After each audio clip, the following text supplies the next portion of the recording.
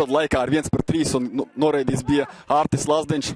Šeit jābūt 3-0. Ir vārti Edvards eh, Tīdenbergs, kurš eh, visu spēli bija, var teikt, ēnā un nerādīja labu sniegumu. Brīdī, kad eh, Rīgas Daugo uzriskēja aizgājis priekšu, eh, sodīja pretuzbrukumā Ventspilnieki, rīdzniekus un nu, uzbrukuma izskaņā Tīdenbergs no vārtu priekšas panāk 3-0. 70. minūtē eh, pilnībā ir skaidrs, ka Ventspilī būs kārtējie 3 punkti, 11 spēlēs, 11 uzvaras, 33 punkti pret eh, 3.